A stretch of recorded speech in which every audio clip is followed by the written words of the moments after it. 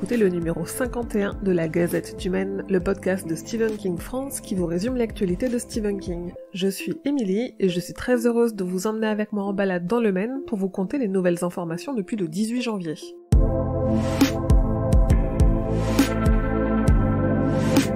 Un nouveau roman de Stephen King a été annoncé. Il s'appelle Billy Summers et raconte l'histoire d'un assassin, un tueur à gages qui ne tue que des méchants. Le roman est prévu en anglais chez Scribner pour le 3 août. Alba Michel n'a encore rien annoncé, mais on peut espérer une VF pour le printemps 2022. Une nouvelle histoire courte a également été annoncée. L'histoire Willy the paraîtra le 16 septembre dans le magazine Max Winnie's. À ce stade, on ne sait rien de son histoire ou du nombre de pages, et on ne sait pas non plus si on aura un jour la chance de l'avoir en français. Il n'y a plus qu'à croiser les doigts.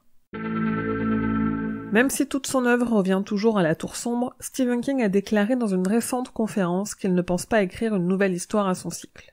Donc on n'aura certainement jamais le récit de la bataille de Jericho Hill comme il l'avait évoqué il y a cinq ans. Via leur fondation, Stephen et Tabitha King ont fait un don de 6500 dollars à l'école élémentaire de Farwell dans le Maine, permettant au livre sur la pandémie écrit par les élèves du programme de jeunes auteurs de l'école d'être publié. Ils ont également fait un don de 50 000 dollars pour aider au projet de rénovation et d'agrandissement de la bibliothèque de Kittery, une ville du Maine.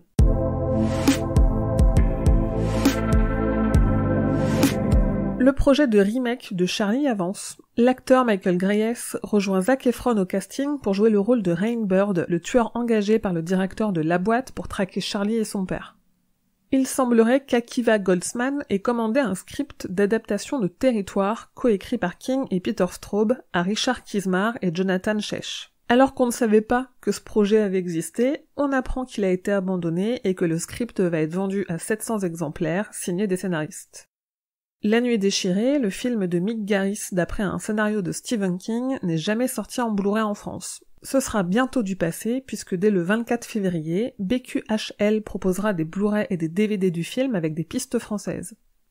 Pendant ce temps, aux États-Unis, la société Myers House va proposer cette année la projection de plusieurs films adaptés de Stephen King directement sur leur lieu de tournage. Il sera donc possible de voir Shining au Timberline Lodge, Maximum Overdrive à Le Land, là où se trouvait le restaurant, ou Les Enfants du Maïs à Whiting dans l'Iowa, la ville qui a servi de décor pour Gatlin.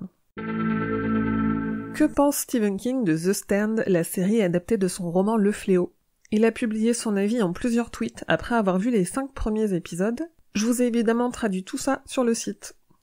Suite aux accusations de violence conjugale et de viol à l'encontre de Marilyn Manson, la chaîne AMC a décidé d'annuler la diffusion de l'épisode de la saison 2 de Creepshow dans lequel il joue. Cet épisode sera remplacé, mais on ne connaît encore aucun détail.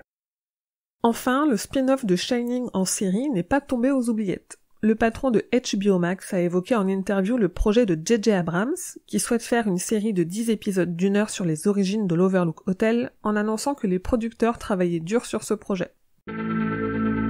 Côté planche, les théâtres sont encore fermés partout. Mais ça n'arrête pas la compagnie Confiture qui, en Suisse et pour les Suisses seulement, va faire 8 représentations de Misery fin février qui seront retransmises en ligne.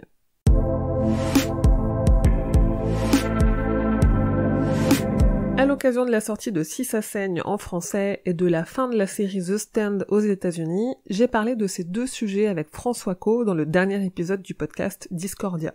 Il y a quelque temps était sorti en financement participatif In Search of Darkness, un documentaire de 4 heures sur l'âge d'or du cinéma d'horreur, c'est-à-dire sur les films d'horreur des années 80. La deuxième partie du documentaire arrive et promet 4 heures supplémentaires de terreur qui permettront de retracer des carrières dans le genre et de s'intéresser à des films étrangers. Vu le trailer, il se peut qu'on ait encore des références à Stephen King dedans. Les éditions Cemetery Dance proposent en édition limitée et signée un portfolio de leur édition spéciale de Danse Macabre publié en 2018.